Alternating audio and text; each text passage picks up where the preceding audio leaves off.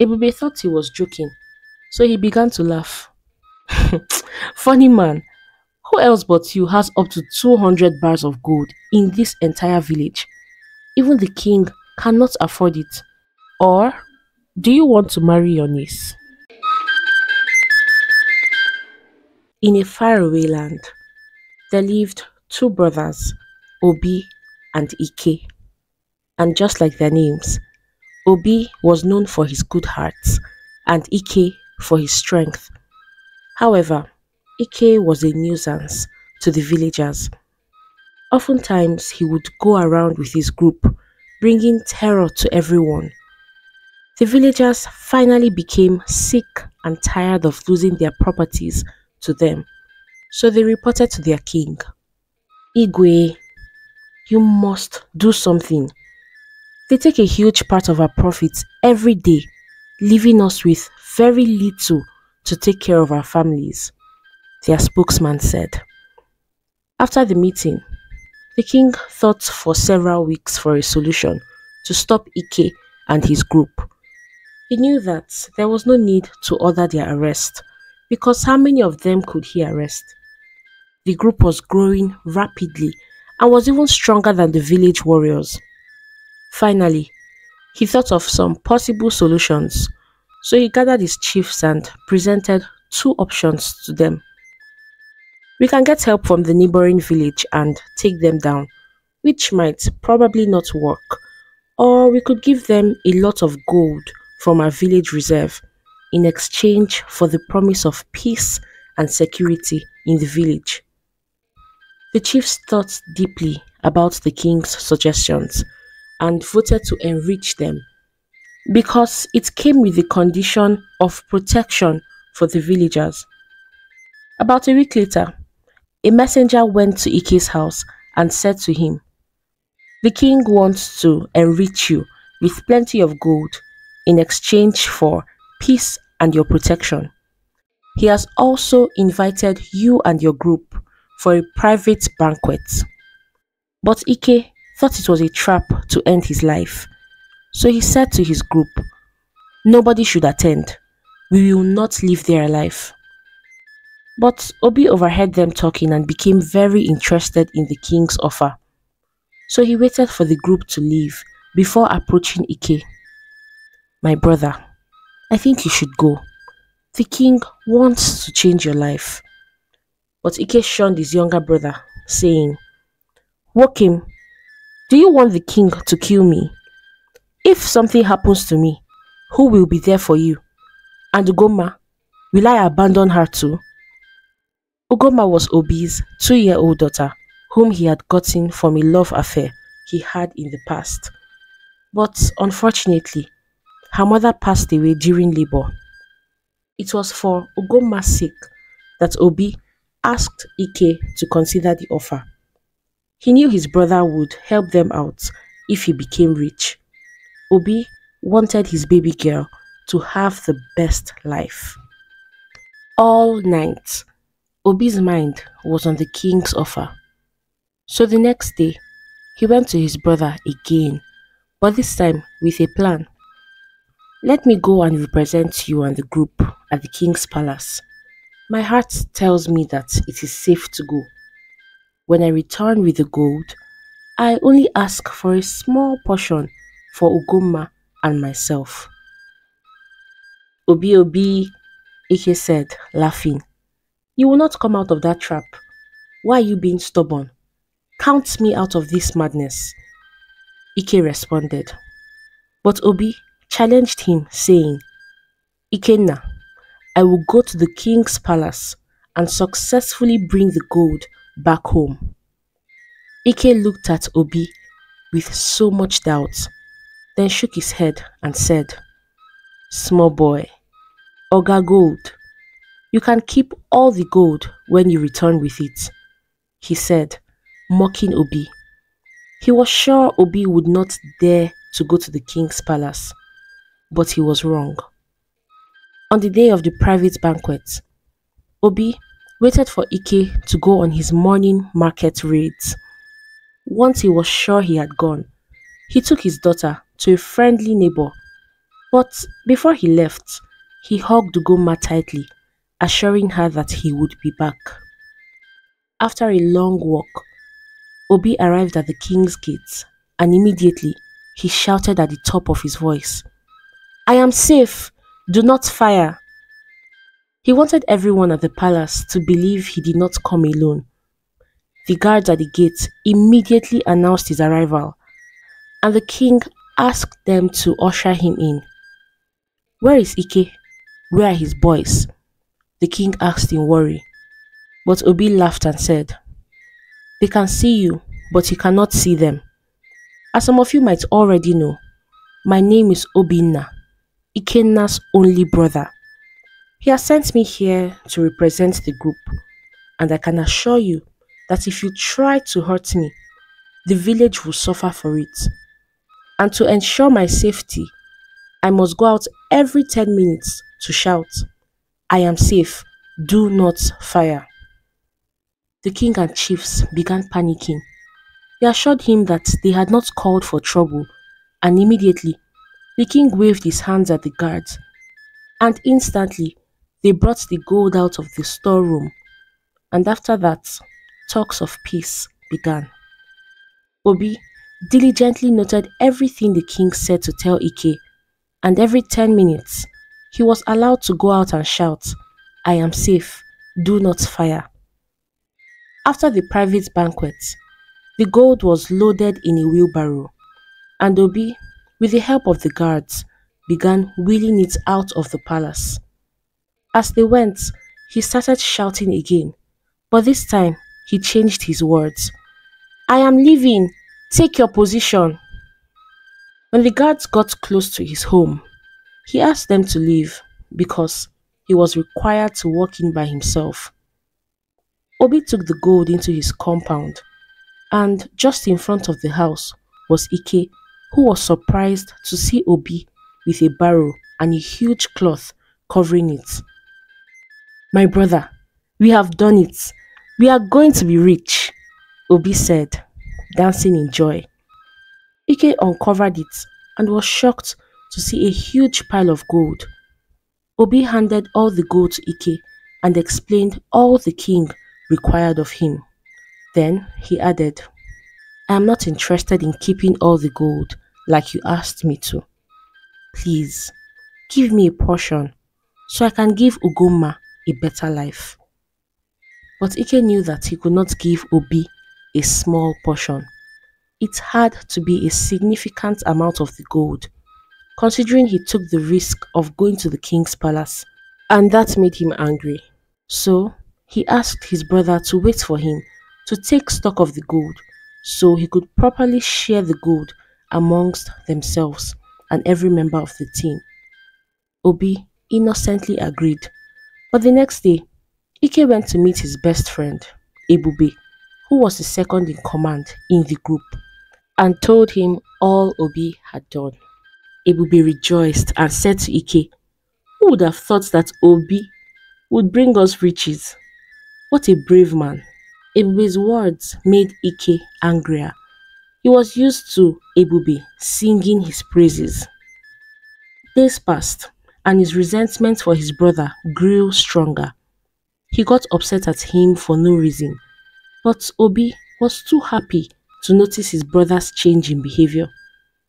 One day, Ike said to Obi, Let's go on a walk. I want to discuss the distribution of the gold with you.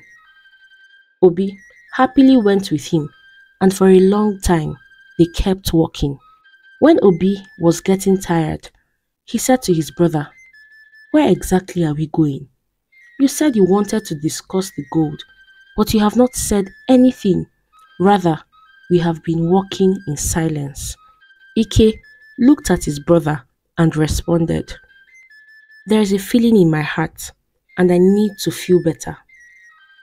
Obi was confused by what he said, but he suddenly stopped thinking about the gold. He began to think of his brother instead. Was he okay? What exactly was wrong with him? So he kept silent until they arrived at a huge waterfall. Finally, Ike stopped walking, looked at his brother and said, I need to feel better, he said again. Then Obi responded, It's obvious I can help you out. My brother, I would do anything for you. What do you want? Jump, Ike said. Jump into the waterfall. I don't want to see you again. My heart will feel better after that. Obi became very scared. He had never seen that look in his brother's eyes, and instantly he knew what this was all about. Obi knelt and started begging. I am sorry I asked for the gold. You can keep it all. Just just let me go home to my daughter and we will leave and go far away where you will never hear about us. But Ike was never going to allow that. He wanted Obi completely out of the picture. So he said more aggressively, Obinna, jump. I don't want to be the one to push you in. You know you don't stand a chance against me. If you run, I will outrun you. If you fight me, I will win you. And if you scream, nobody will hear you. We're in the middle of nowhere. Obi knew Ike was right. But all he could think of was his Ugoma. He was sure he would never see her again. So he said to his brother, My daughter, please look after her. That's all I ask, he said in tears. And slowly, he walked close to the waterfall and jumped to his death. Immediately, Ike rushed home and waited patiently for news about his brother to reach him. The next day, Ebube rushed into the compound to inform him of his brother's demise. My leader, news about Obi just reached me from a villager, he said, with so much sadness in his voice. He managed to break the news as he also prepared to console his friend. But he soon realized his friend was pretending to feel remorse. Ebube knew Ike so well that he could read his emotions. So with his voice shaking, he asked, Ike, gị gburu nwanne gị? Ike, realizing he had been caught, answered. He jumped. I did not push him. Ebube shook his head in pity. He knew it was Ike that led him there. It was a tactic they used to finish off people when they did not want their blood on their hands. But regardless, he understood his leader came first. So there and then, just as Ike expected in his heart, the secret stayed between them both. Twenty years passed after the incident, and a lot of changes occurred. Ike was not the richest man in the village, even richer than the king. He kept all the gold to himself, only giving a little to Ebube, and his group members did not dare to oppose their terrible leader.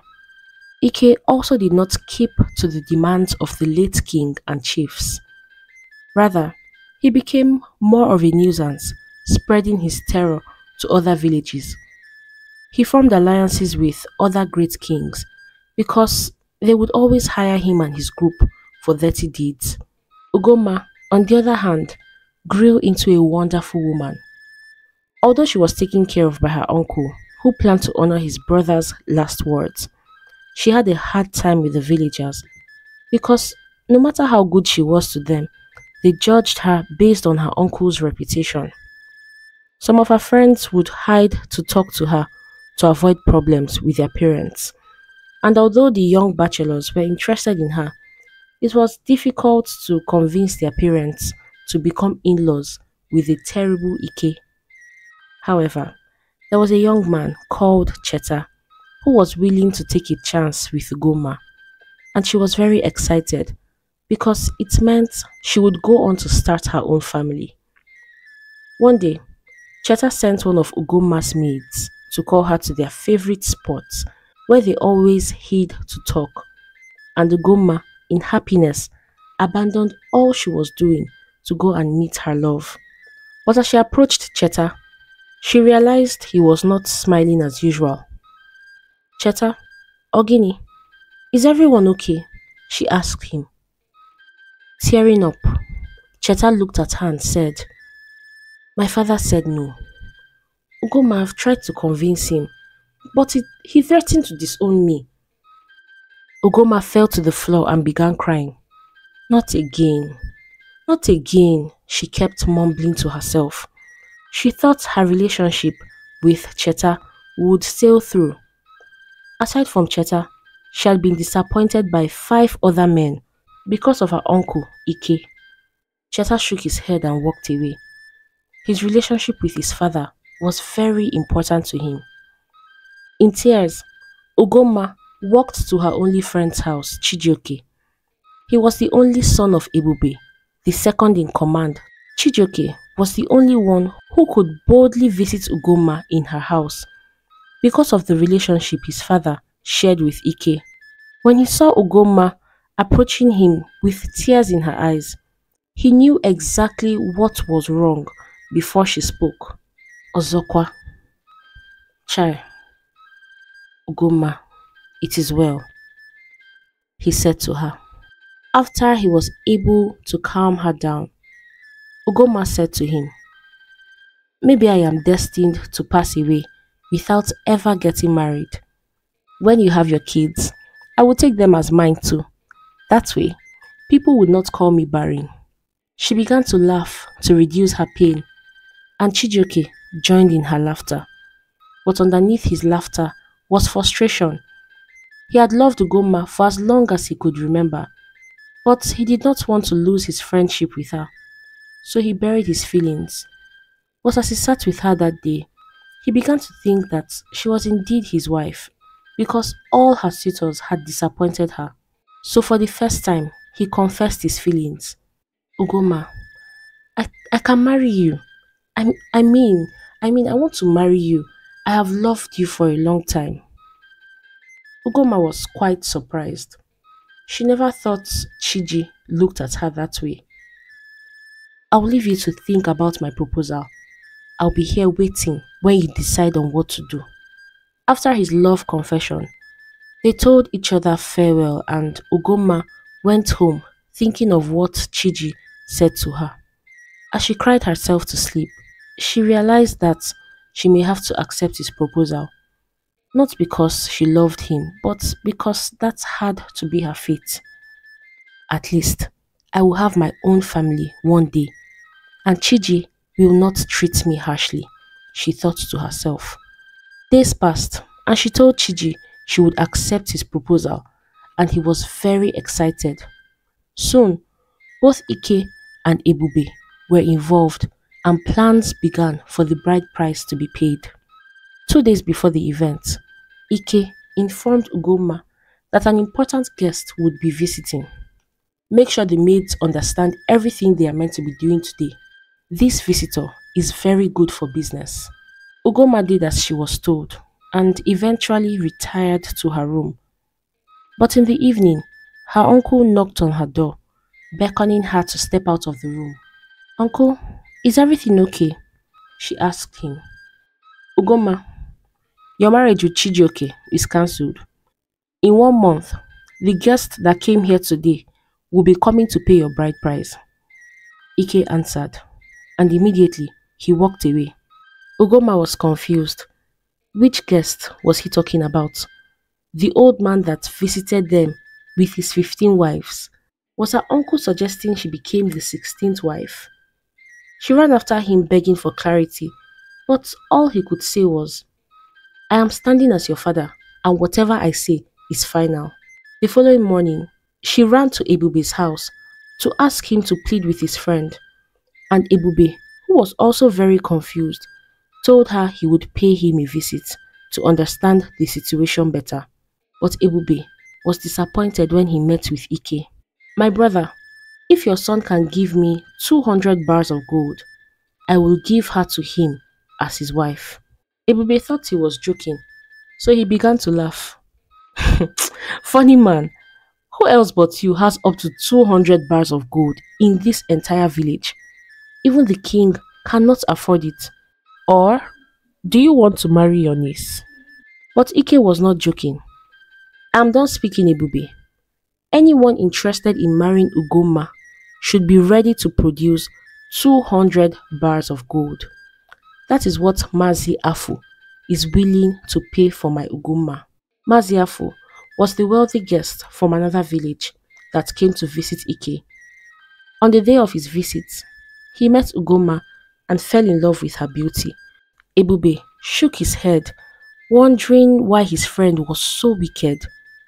He finally understood why his son was no longer eligible to marry Goma. Could Ike not forfeit the money, at least for his own sake? So in anger, Ebube questioned Ike. In all our years of friendship, I have stood by you, never requesting anything from you. Even when you gave me a tiny portion of the gold, I never complained. When you hurt your brother, I hid it from the world. But I ask you for one thing today, and you refuse me? When Ebube was done speaking, he stormed out in anger. He was finally tired of his friend and wanted nothing more to do with him. But unfortunately for them, Ugoma was eavesdropping on their conversation. She ran to her room, trembling in fear. How could her uncle do that to her father? For many years, he told her stories of her father's bravery, and she never suspected he was responsible for his death.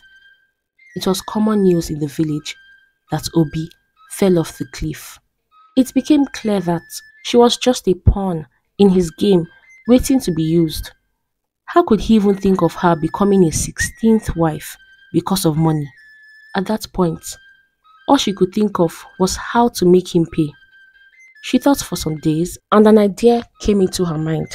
Just like her father boldly went to the king years ago, she decided to do the same, but she went disguised as an old woman for fear of being seen.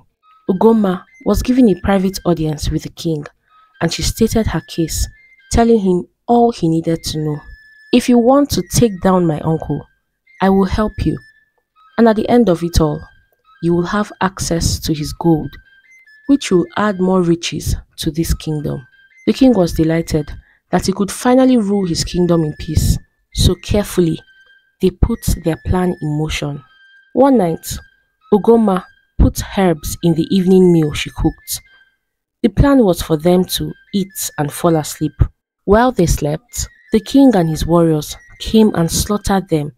But before they arrived, while Ike was fast asleep, Ugoma went to his treasure room and took some bars of gold out of the thousands that lay there.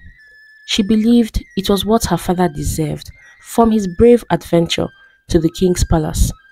Then she ran as fast as she could out of the village, just in case the villagers decided to take her life too.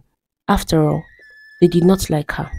As she sailed away in a boat at night, she thought of her dear friend Chijioke, wondering how he would take the news of her sudden disappearance. But she knew she could not tell him her plans, considering his father was involved. She just had to be content with starting a new life far away from her old troubles. When the rest of the group heard of Ike's demise, some fled into the thick bushes in fear, while the remaining surrendered and got locked up awaiting trial from the king. And peace was restored to the village. Today I will be speaking to you about partnerships and I will be referencing Amos 3 verse 3. Can two work together except they be agreed? For partnerships to occur successfully, there has to be agreement agreement in purpose and values. But I've realized a lot of people neglect values, which is wrong because values are like the foundation of purpose. It is usually from a person's values that you know if they can actually achieve a set goal. Now, imagine the king and his chiefs, assuming that Ike and his group could work towards a purpose of peace when they were very evil people at heart, or Obi thinking his brother would do right by him just because they were brothers. Entering partnerships with evil people is like partnering with the devil. You will get burnt. I'd like to introduce you to someone I call the best partner, the one who died that we may live, Jesus Christ. He knows life can be hard, but He wants to walk through it with you. If you're interested in getting to know Jesus, you can start by saying this prayer. And after that, you can seek Him daily by praying and reading the Bible. People usually recommend to start with the book of John. Secondly, there's this channel I think you should check out African Tales by Uzo. I'll leave a link in the bio. It's really new, but I think she's a fantastic writer. So please check out her work when you have the time. Thank you. I've also had some creators reach out to me asking for background music. If you're interested, please send me an email and I might just be able to arrange one for you. And finally, I apologize for my absence. I've been very ill, but I am doing better now, and I hope you are all doing good. Thank you for watching this story today. If you liked it, please like and share with your loved ones and comment what you have learned. Some of the comments here make me really emotional. I appreciate you all. Till next time. Bye.